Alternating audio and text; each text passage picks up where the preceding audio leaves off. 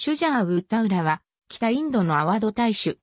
ムガル帝国の最小でもある。1732年1月19日、ジャラールッティーン・ハイダルハーンは、ムガル帝国の首都デリーで生まれた。1748年6月19日以降、ジャラールッティーン・ハイダルハーンは、シュジャー・ウッダウラの称号を個人的に使用するようになり、これが彼の一般的な故障となった。1754年10月5日、父である、アワド大衆、サフダルジャングが死亡し、息子のシュジャー・ウッダウラが大衆位を継承した。同年10月11日には、ムガル帝国の皇帝アーラムギール2世からも、その世襲を認められた。シュジャー・ウッダウラ1761年1月、第3次パーニーパトの戦いにおいて、マラーター同盟軍とドゥッダーニーやサーフガン軍が対決した時、アフガン王、アフマドシャー・ドゥッダーニーに味方し、その軍に物資や食料を提供した。シュジャー・ウッダウラは、アフガン軍に味方した理由したとしては、父が結んだ協定をマラーターが破り、アワドの広大な領土を奪い、財政的にも圧迫していたからだった。また、シュジャー・ウッダウラは、長期戦に苦しむマラーター同盟軍の補給路を断ち、マラーター同盟軍の物資供給を滞らせるなどして妨害し、マラーター同盟軍が第三次パーニーパとの戦いで敗れる一員を作った。同年、シュジャー・ウッダウラは、イギリスに敗れ、アワドに逃げてきたムガル帝国の皇帝シャー・アーラム2世を保護した。1762年2月15日、彼はシャー・アーラム2世により帝国の最小に任じられた。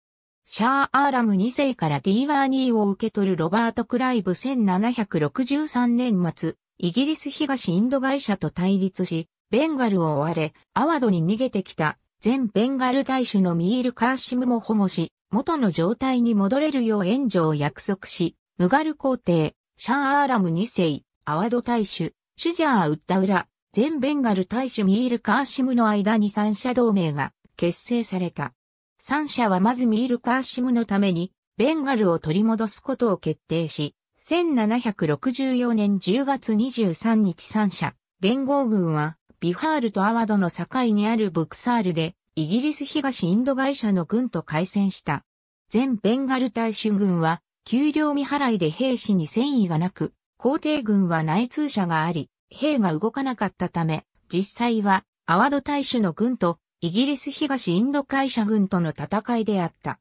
戦いは1日で終結し、結果はイギリスの圧勝であった。この戦いの結果、1765年8月16日にアラーハーバード条約が締結され、アワド大使は年額280万ルピーの価値のあるアラーハーバードとコラーの両地域をイギリスに割譲し、イギリスはそれをムガル皇帝、シャー・アーラム2世に与えた。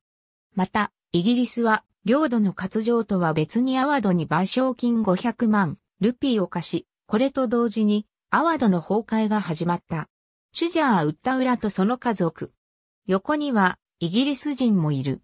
シュジャー・ウッタウラ病1764年の敗戦以降、アワドは次第にイギリスに従属するようになっていき、1772年にマラーター勢力がアワドの保護していたローヒルカンド地方を侵略し、アワド大主、シュジャー・ウッタウラはイギリス東インド会社に援助を求めた。ローヒルカンドとは、現ウッタルプラデーシュ州北西部のことで、ムガル帝国の皇帝、アウラングゼーブの死後、アフガン系ローヒラー族が支配していたためこう呼ばれ、ロヒラ族は、マラーターの侵入の撃退のためにアワドと協定を結び、その撃退の代償として400万ルピーの支払いを約束していた。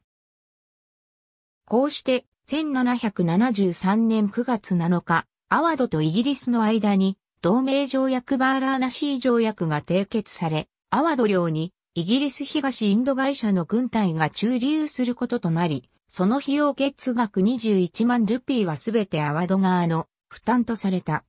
このバーラーナシー条約はイギリスが反王国化する際の条約と似たものであり、1773年がアワドの反王国化した年とする場合もあるが、1801年の軍事保護条約で反王国化したとされている。その後、アワドはイギリスの援助により、マラウター勢力をローヒルカンドから駆逐したが、ローヒラー族は約束された支払いの履行に応じなかったため、1774年にアワドはイギリスの援助のもと、ローヒルカンドに侵略し、ローヒルカンドのほぼ全域をアワド領に併合した。